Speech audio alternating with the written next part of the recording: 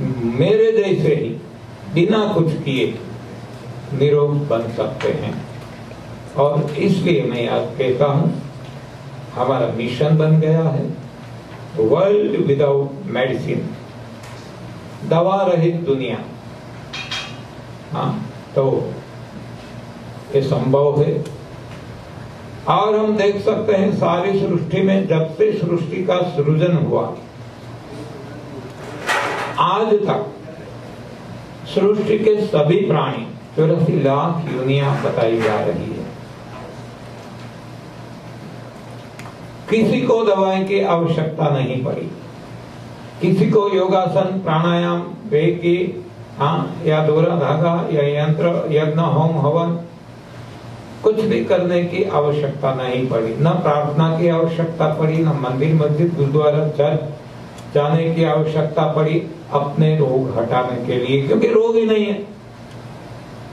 तो हमारे लिए भी ये संभव है। तो हमें क्यों रोग हुए? ये सबसे पहले देखना होगा। और रोग की जड़ क्या है? ये जड़ को ही उखाड़ के फेंक देंगे तो अब रोग रहेगा ही नहीं। और एक बार तो निकल गया, दोबारा ना आ जाए। इसके लिए हमें क्या देखना है, क्या ख्याल रखना है, ये समझ लेंगे। तो हमारे जीवन में कभी रोग नहीं आएँगे, जैसे हमारे लिए है। तेईस साल से इसके पहले जो मैंने आपको बताया, मैं भी बहुत बीमार था, मेरी पत्नी भी बीमार थी, मेरे परिवार के सब सदस्यों भी बीमार थे। आज कोई बीमार नहीं है। कई साल से न मैंने कुछ कोई भी दवाइयाँ ली है, न मेरी पत्नी ने ली है। क्यों? रोगी नहीं। जब रोगी नहीं तो दवाई कैसी? और दवाई जो मैंने आपको बताया। केवल टैबलेट्स, या तो इंजेक्शन, या तो काढ़ा, पाउडर, इसको मैं दवाई नहीं कहता फिर से मैं रिपीट करता हूँ कि दवाई की डेफिनेशन यहाँ है। रोग नाबूदी के लिए किया जाता कोई भी प्रयास। हाँ जो भी हम प्रयास करते हैं, ये सारे प्रयास, इसका नाम हम दवाई कहते हैं। एनीवे तो इतनी पूर्व भूमिका के बाद हम रियल ट्रेक पे आते हैं। कि इसमें क्या बदलाव करना है। तो पहले मैं आपको सुझाव दूँगा। हाँ जो अनुभव का निचोड़ डिटेल में सारी बातें हम बाद में समझेंगे, लेकिन निचोड़ में आपको दे देता हूँ। तो ये यहाँ है दो ही बातें। एक है रोग का कारण, दूसरा है रोग का निवारण।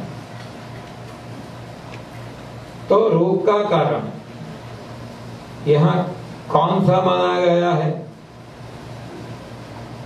तो भगवान ने गीता जी में अध्याय सत्रह, श्लोक नौ और दस में बताया कि राजसी और तामसी जनों को प्रिय भोजन जो है ये रोगों का कारण है। फिर से रिपीट करता हूँ। अध्याय सत्रह, श्रीमद भगवद गीता, श्लोक नौ और दस। इसमें भगवान ने बताया है रोगों का कारण। तामसी और राजसी जनों को प्रिय ऐसा भोजन रोगों का कारण है। ऐसा भोजन खाने से रोग होते हैं और रोग होने की वजह से आयु कम हो जाती है। हमारा जो शक्ति कम हो जाती है, कमज़ोरी आ जाती है। और इसका परिणाम ये होता है कि ना हम काम कर सकते हैं, हमारी काम कार्य क्षमता ही नहीं रहती। तो फाइनेंशियली हम पुअर हो जाते हैं। यानी कि जीवन में दुख आ जाता है। तो ये सारा कारण इसके मूल में कुछ है, इसकी जड़ में कुछ है तो है भोजन। इसे हम कहेंगे अयोग्य आहार, जिससे रोग होते हैं और सारी समस्याएँ जीवन में बनी रहती है। तो आठवें श्लोक में बताया, वही अध्याय श्रीमद् भगवत गीता के चैप्टर 17 अध्याय 17 श्लोक आठ। इसमें बताया गया है कि सात्विक जनों को प्रिय ऐसा भोजन खाने से शरीर में कभी रोग नहीं होता। और शक्ति बनी रहती है, बुद्धि, बल, और सुख जीवन में बना रहता है। तो एक बात यहाँ मेरे लिए स्पष्ट हो गई कि रोग का संबंध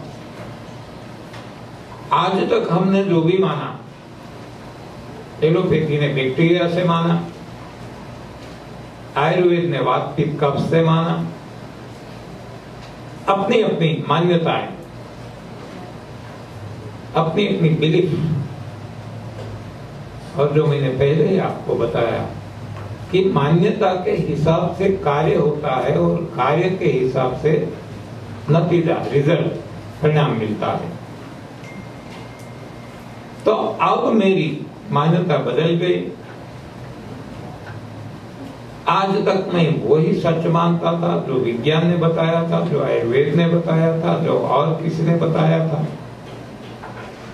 अब मेरी सोच बदल गई, अब मेरी मान्यताएँ बदल गई कि रोग का यदि कोई कारण है तो एक और मात्र एक है, और ये है अयोग्य आहार। और निरोग रहना है तो एक ही ज़रूरी है योग्य आहार। तो दोनों के बीच में एक बात रह जाती है। सिंस बर्थ हमने सही खाया। तो तो बराबर है। लेकिन हमने जन्म से लेकर आज तक तामसी और राजसी जनों को प्रिय ऐसा भोजन, यानी कि जो रोग के लिए जिम्मेवार है। रिस्पॉन्सिबल फॉर डिज़ीज़ ऐसा भोजन ही खाया। तो अब निरोग कैसे हो सकते हैं? निरोग है तो तो आहार है। सात्विक जनों को प्रिय ऐसा कभी रोग नहीं आएगा। लेकिन आज रोगिष्ट है तो रोग को कैसे हटाया जाए? तो इस सारे शास्त्रों ने बताया है। चाहे हिंदू का हो, चाहे मुस्लिम का हो, चाहे क्रिश्चियन का हो, चाहे जैनों का हो, चाहे सिखों का हो, चाहे किसी का भी हो, सभी ने उपवास का महत्व बताया लेकिन उपवास को भी हमने गलत अर्थ करके उपहास कर लिया।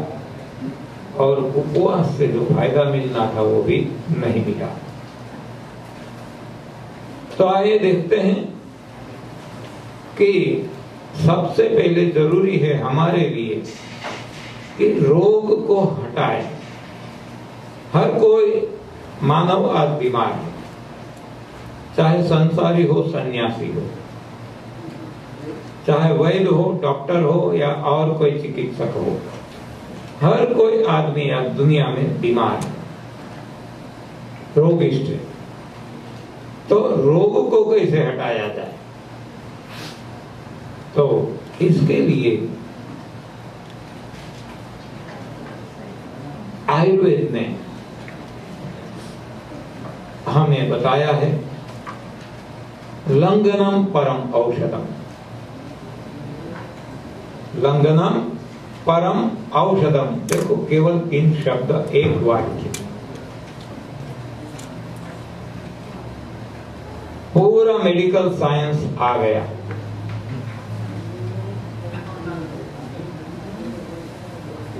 लंगन परम औषध है यानी कि और कोई औषधियाँ की आवश्यकता नहीं। है ना कोई दवाइयाँ, ना कोई एक्सरसाइज ना कोई yoga, pranayama reiki nothing doing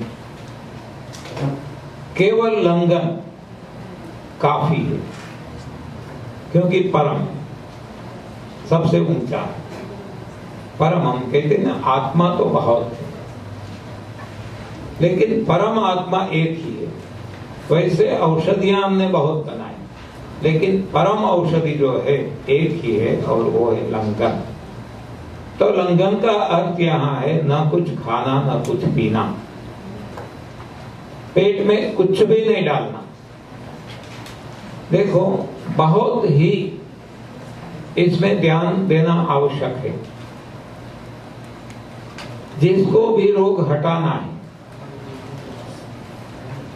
रोग अपने आप हट जाएँगे, आप देखेंगे, रोग के लिए यहाँ कुछ नहीं करना है। डायबिटीज़ वालों को ये करना, बीपी वालों को ये करना, इसको ये करना, इसको ये कुछ भी नहीं। केवल एक बात है कि लंघन कर लो, आपके रोग अपने आप भाग जाएँगे। क्यों? ये भी बताया। कि आहारम पद्धति शिखी शिखी यानी जठराग्नि जब हम कुछ पेट में डालते हैं आहारम पचती शिखी इसे हम आहार कहते हैं। कुछ भी पेट में डालते हैं, चाहे कॉफ़ी हो, दवाइयाँ हो, और कोई खाने की चीज़ हो, या तो पानी भी हो। पानी का एक बिंद भी पेट में गया तो इसको पचाने में हमारी वाइटल पावर, हमारी जीवनी शक्ति, हमारी प्राण शक्ति शिखी यानी कि जठराग्नि, काम में लग जाती है। तो आहारम पचती शिखी दोषान आहार वर्जिता यानी कि जब हम कुछ नहीं लेते, आहार वर्जित कर देते हैं। वर्जित करना यानी बंद कर देना।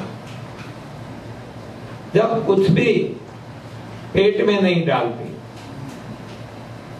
तब जो ये जठराग्नि है अभी इसके पास कुछ काम नहीं।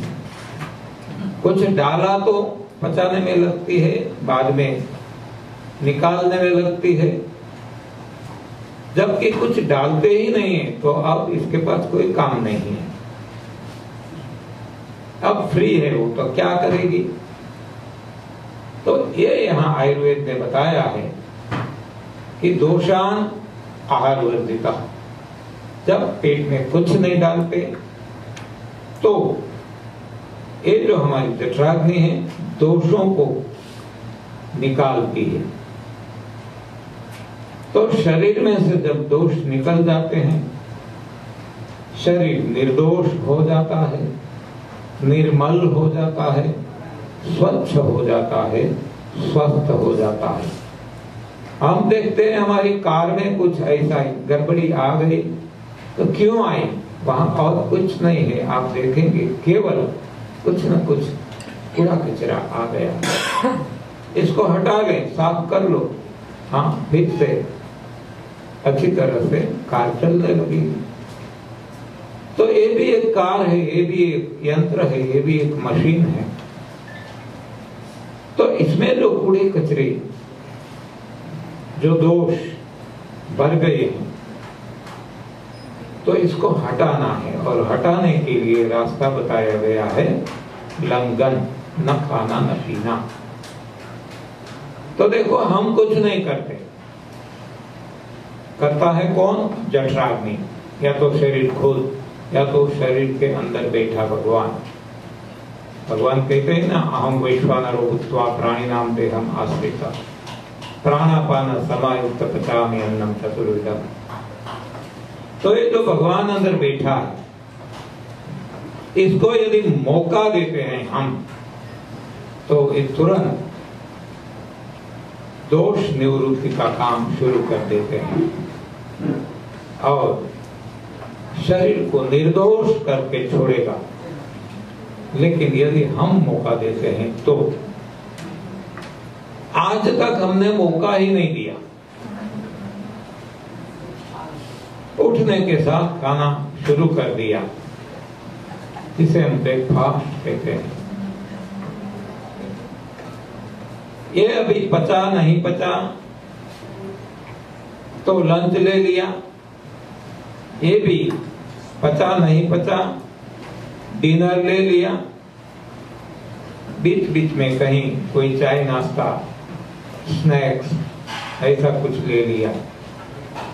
तो इस शरीर को कभी सफ़ाई का मौका नहीं मिल रहा है। हम नहीं देते। शरीर को तो सफ़ाई करनी। लेकिन हम मौका देंगे, तब साफ़ करेंगे ना वो। तो अब ज़रूरी है मौका देना। सुविधा प्रदान करना। सफ़ाई के लिए। इसको, शरीर को, खुद को या तो अंदर बैठे भगवान को। तो ये लंघन है। ये निर्जल उपवास है। ये रोजा है कि जब हम शरीर के अंदर कुछ नहीं डालते तो उसी वक्त तुरंत हमारा शरीर खुद को साफ़ करने में लग जाता है। तो ये जब सफ़ाई हो जाती है, शरीर स्वच्छ हो जाता है तो स्वस्थ हो जाता है। इतनी सिंपल बात है। देखो, आप देखेंगे कि यही सारा बायोलॉजी, सारा मेडिकल साइंस इसमें ही आ जाता है। कोई मेडिकल साइंस की अब आपको आवश्यकता नहीं रहेगी। कोई एक्सरसाइज योगा प्राणायाम की कुछ भी करने की अब आवश्यकता नहीं रहेगी। क्यों? शरीर स्वच्छ हो गया। शरीर स्वस्थ हो गया। शरीर में कोई रोग नहीं रहे। तो अब कुछ करने की आवश्यकता नहीं रही। तो रोग को हटाने के लिए एक ही बात काफ़ी है समझना कि शरीर को स्वच्छ रखा जाए। मुझे लगता है सभी के समझ में ये बात आ गई होगी। यदि हम स्वच्छ स्वस्थ रहना चाहते हैं तो स्वच्छ रहना ज़रूरी है। स्वच्छ केवल बाहरी सफ़ाई नहीं, आंतरिक भी।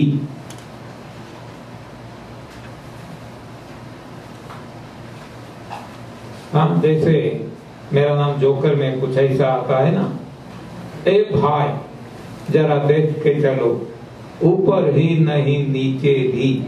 तो हम ऐसे कहते हैं कि ए भाई, जरा सफ़ाई करते चलो। बाहर ही नहीं, अंदर भी। तो ये सफ़ाई की बात करती है। तो एक जूस जो आपको यहाँ से दिया जाएगा, अभी रेडी है, हम जाएँगे पीने को। इसके पहले सफ़ाई बात पूरी कर लें। तो अंदर की सफ़ाई करना है। आज तक बाहरी सफ़ाई हमने बहुत बहुत। और मैंने देखा है, इंडिया में बाहरी सफ़ाई कम है। अंदर की सफ़ाई भी नहीं है। जबकि दुबई और यहाँ, कनाडा, यहाँ यूएसए, पश्चिमी जगत में। बाहरी सफ़ाई बहुत ही इतना खर्च इतना खर्च, समय का, धन का, बाहरी सफ़ाई के पीछे लगाते हैं, लेकिन अंदर से साफ़ नहीं है। इसलिए यहाँ भी इतनी ही बीमारियाँ हैं जितनी जो गंदा राष्ट्र हम कह सकते हैं इंडिया है, और कोई भी, वहाँ जितने रोग है, इतने ही यहाँ है, मैं तो मैंने ये देखा है, इससे भी ज़्यादा यही है। कैंसर जितने इंडिया में होते हैं, इससे ज़्यादा यही होते हैं। स्किन डिज़ीज़ या तो ये जो कहते हैं एलर्जी ये जो इंडिया में है, इससे ज़्यादा यही है। तो एक कंपैरिजन मैं इंडिया और एक कोई पर्टिकुलर देश प्रदेश की नहीं करता। मैं ये एम्फेसाइज करने की कोशिश कर रहा हूँ, इसके लिए मैं ज़ोर दे रहा हूँ कि अंदर की सफ़ाई सबसे ज़रूरी हो, चाहे कोई इंडिया में रहते हो चाहे कोई एब्रोड रहते हैं। जो भी अपने को निरोग रखना चाहते हैं, सभी के लिए ये ज़रूरी है कि अंदर की सफ़ाई भी साथ साथ रखें। मैं ऐसा कहता हूँ कि बाहरी सफ़ाई है, बहुत अच्छी है, लेकिन इसका दो मार्क्स है। एक पेपर जो है हमारा, हंड्रेड मार्क्स का। बाहरी सफ़ाई का मैं दो मार्क देता हूँ। और अंदरूनी सफ़ाई का 98 मार्क्स है। तो हमें देखना है कौन सी सफ़ाई पे हमें ज़्यादा ज़ोर देना है। तो जब हम शरीर को मौका देते हैं, ना कुछ खा के ना कुछ पी के लंघन करके, उपवास करके, रोजा रख के तो शरीर अंदर से खुद की सफ़ाई करता है। तो जहाँ तक लंबा लंबे समय तक मौका देंगे तो ये अच्छी तरह से अपने सफ़ाई का काम कर सकेगा। तो जब सफ़ाई का मामला ही है तो ये तो खुद शरीर करता है, भगवान करता है, हम कुछ नहीं करते, हम तो मौका देते हैं।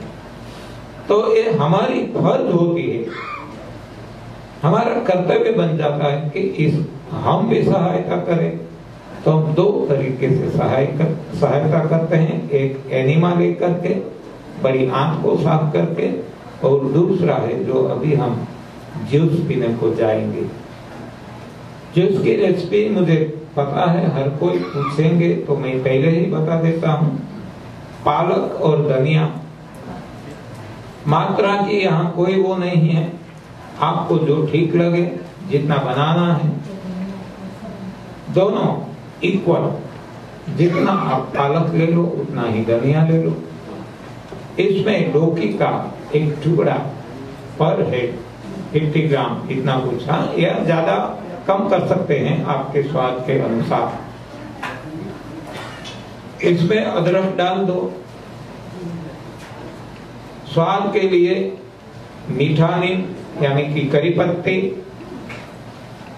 पुदीना जो पान चबाते हैं कई के पान बनारस वाला खुल जाए, बंद अकल का ताला। तो ऐसा पान जो है, ये भी आपको अंदर डालना है तो डाल सकते हैं। लेकिन अवश्य जो डालना है, सफ़ाई के लिए ये तीन फ्रोजन आंवले। फ्रेश मिलते तो फ्रेश, नहीं तो फ्रोजन। और ये भी कन्वीनियंट नहीं है तो आंवले का पाउडर आंवला सभी ने देखा होगा, नहीं देखा है तो यहीं से आपको दिखाया जाएगा, आप देख लेना। तो ऐसा जूस जो अभी हमारे लिए तैयार है, तीन आंवले, हर हमेशा पेट में इसका रस जाना चाहिए। स्वादिष्ट बनाएँगे, जो स्वाद हम यहाँ पिएँगे, आपको पता चलेगा। स्वाद है स्पाइसेस का, मसाले का। तो आपके जो आपको पसंद है, ऐसा स्वाद आप बना सकते हैं।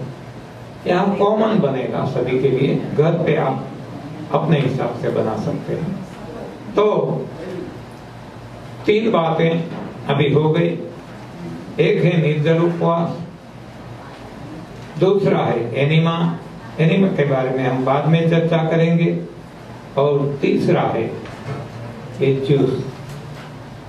तो तीनों मिलकर सफ़ाई करेंगे। अंदर से शरीर की, शरीर स्वच्छ हो जाएगा, स्वस्थ हो जाएगा। चाहे किसी को कोई भी प्रॉब्लम हो, देखो मैं बार बार रिपीट करते रहता हूँ कि जिससे किसी को ऐसा सवाल न उठे कि मुझे डायबिटीज़ है तो मैं क्या करूँ? मैं क्या खाऊं? कौन सा रस पीऊं? हाँ कुछ भी यहाँ वो नहीं है। खाने से रोग नहीं जाते। न खाने से जाएँगे, क्योंकि न खाने से सफ़ाई होगी। तो सफ़ाई की आवश्यकता है। तो ये सफ़ाई कर लेंगे तो चाहे डायबिटीज़ बीपी एसिडिटी माइग्रेन हाँ कुछ भी हो आर्टरी ब्लॉकेज है, संतान नहीं होते हैं ट्यूब ब्लॉकेज है, या एक्स कोई भी कोई भी शारीरिक समस्या देखो, कोई भी शारीरिक समस्या, यानी कि जिसे हम रोग कहते हैं, कोई भी रोग हो, इलाज केवल एक है, उपचार केवल एक है, क्योंकि कारण एक है। कारण ये है, शरीर में जमा हुआ मल, और मल का कारण है, मुँह से डाला गया अयोग्य आहार। तो अब हमारी समझ में आ गया है कि जो भी हमसे गलती हो गई अब सुधारना है तो मल को निकालना ये रोगों को हटाने की जड़ है। तो ये मल निकालने के लिए ये तीन बातें हमने देखी, आगे हम बातें करेंगे, क्योंकि they are waiting for us तो अब हम यहाँ ब्रेक रखेंगे, और ब्रेक के बाद फिर से यहाँ आ जाएँगे, अपनी सीट ले लेंगे।